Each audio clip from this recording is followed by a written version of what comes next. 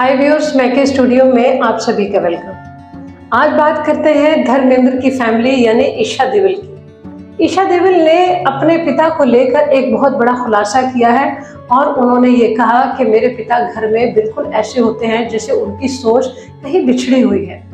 ईशा देवल का कहना यह है कि मेरे पिता धर्मेंद्र, मेरी शादी उस वक्त कराना चाहते थे जब मैं 18 बरस की थी और फ़िल्मों में आने के लिए तो मुझे बहुत ज़्यादा प्रॉब्लम्स को फेस करना पड़ा. जैसा कि आप सब जानते हैं कि ईशा देओल ने आज से 22 बरस पहले बोनी कपूर की फ़िल्म मेरे दिल में क्या रखा से अपने फिल्मी करियर का आगाज़ किया। उसके बाद अब लेटेस्ट इंटरव्यू में ईशा देओल ने अपने पिता धर्मेंद्र को लेकर एक बड़ा खुलासा किया, जिस पर लोग उनको ट्रोल भी कर रहे हैं। ईशा ने कहा कि मेरे पिता धर्मेंद्र घर में एक रूढ़ी सोच रखने वाले हैं, यानी वो एक पंजाबी फैमिली से बिलोंग करते हैं, जहाँ पर बहुत ज़्यादा सख्त माहौल है। ईशा का कहना यह है कि मैं बड़ी मुश्किल से फ़िल्मों में आई और उसके लिए मुझे अपने पिता को मनाने में बहुत दिक्कतें आई। ईशा कहती है कि मुझे एक वो वक्त भी याद है कि जब घर से देर तक बाहर रहने के लिए मुझे झूठ बोलना पड़ता था। ईशा कहती है, ये इसलिए कि मैं एक सख्त घराने से ताल्लुक़ रखती हूँ।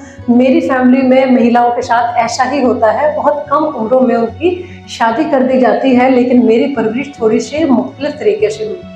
ईशा ने बताया कि मुझे घर से बाहर रहने के लिए झूठ बोलना पड़ता था। यानी कि मैं बहुत देर घर से बाहर नहीं रह सकती थी, मैं मिनी स्कर्ट नहीं पहन सकती थी क्योंकि इस पर सख्ती से पाबंदी थी। अब ईशा के इस बयान को लेकर कुछ लोगों ने उनको सख्ती से ट्रोल किया क्योंकि धर्मेंद्र बॉलीवुड फ़िल्म इंडस्ट्री का एक बड़ा नाम है। पुराने लोगों का कहना यह है कि ईशा को ये बातें नहीं करनी चाहिए थी क्योंकि ये उनके घर की बातें हैं, उनको घर की बात घर में ही रखनी थी। दोस्तों, आप ईशा के इस बयान पर क्या कर रहे हैं, हमें कमेंट ज़रूर दीजिएगा। ऐसी मजीद अपडेट्स के लिए देखते रहिएगा। मेरे किस